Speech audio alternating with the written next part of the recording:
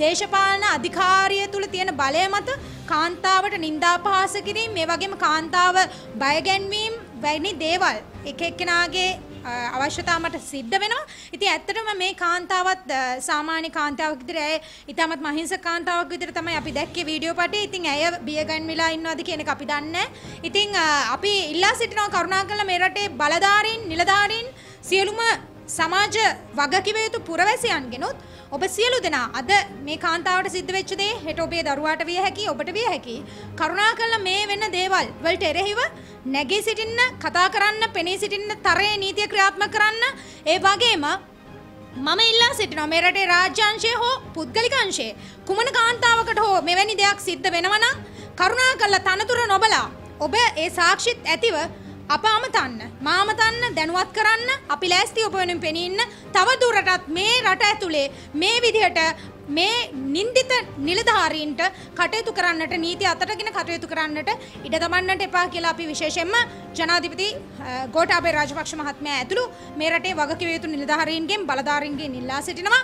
ඒ වගේම මතක් කරන්න කැමති ගීතා කුමාරසිංහට ඔබගේ මේ පවතින ආණ්ඩුව තුළ කාන්තාවන් සුරක්ෂිතයි කිව්වා. ඉතින් ඒ සුරක්ෂිතභාවය 152ක් කාන්තාවෝ ඉන්න රටේ 125ක් කාන්තා නියෝජනය ලැබෙන පහුගිය ප්‍රාදේශ සභා අවස්ථාවේදී මට කරපු අයුතු ලිංගික බලපෑම නිසා ලිංගික අල්ලස් ඉල්ලලා මගේ නාම යෝජනා නැති කිරීම තුළ ඔබලාගේ තියෙන කාන්තාව ඔබ කොහෙද හිටියේ ගීතා කුමාරසිංහ කියලා මම ඔබගෙන් අහන්න කැමතියි. ඔබලා එදා එක වචනයක් කතා කරා දීට විරුද්ධව අද මේ ඉන්න නිලධාරීන්ගෙන් නෙමෙයි මේ රටේ ජනතාවගෙන් මට සාධාරණ ඉෂ්ට වෙලා තියෙනවා. මොකද ඒ ජනතාව ඒ කියන පුද්ගලයෝ කවුරුත් අද පාර්ලිමේන්තුවේ යවුවේ නැහැ.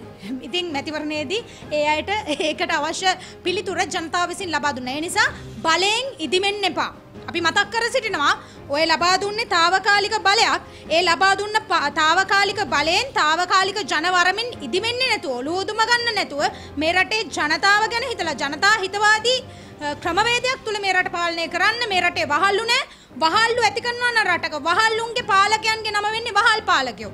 තමන් වහල් භාවයේ පරගතිකම් කරනවා නම් තමයි තමන් වහල් පාලකයෙක් වෙන්නේ. අපි මතක් කරනවා කරුණාකරලා වහල්ලු රටේ ඇති කරලා වහල් පාලකයෝ ඇති කරන්න එපා. වහල් පාලකයෙක් වෙන්න එපා. රටේ මේ රටේ අසරණයෝ නෑ. මේ රටේ ඉන්නේ දක්ෂ දරුවෝ. මේ රටේ වීරයෝ ඇති කරන්න. වීරයෝ ඇති කරපු දවසට ඔබතුමාලට පුළුවන් වෙයි වීර පාලකයෙක් වෙන්න. ඒ නිසා නින්දිත විදිහට මේ විදිහට අහිංසක අසරණ කාන්තාව අසරණ භාවයට පත් කරන්න එපා. අපි මතක් කරනවා උස් තැන් දැක හැකිලෙන්නේ මිටි තැන් දැක පුප්පන්නේ නින්දිතයෝ කියන වචනයත් ප්‍රකාශ කරමින් මම නිහට වෙනවා. Breaking.lk.